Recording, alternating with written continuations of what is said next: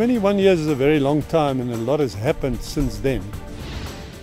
I think it's a passion and a challenge. The passion is there, it'll never go away. It's about horses, it's about watching your progeny perform, uh, watching your horses compete. And the challenge is to stay up there. It's about watching your progeny grow up and perform and testing your judgment and, and, and watching the outcome of it. And I think that is, that's where the reward comes in.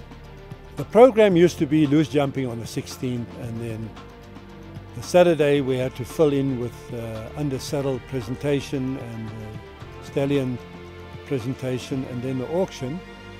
We have decided to try and do away with the, with the loose jumping and do the presentation of the, um, the under saddle on the Friday evening.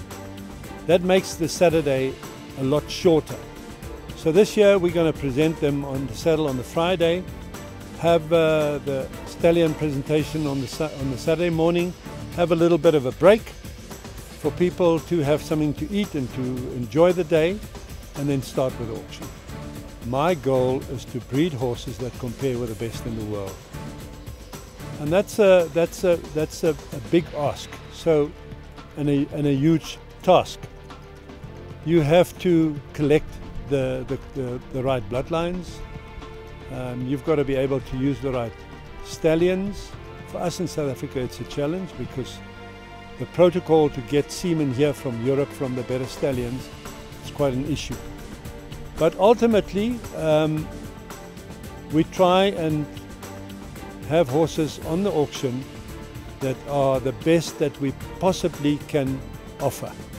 Therefore, um, I have a breeding operation in Belgium where I keep a certain number of mares and all those foals come here and they get produced here and get sold on the auction. No horse gets sold out of the auction. Every single horse goes through the auction and that gives people the opportunity to be able to bid on the best.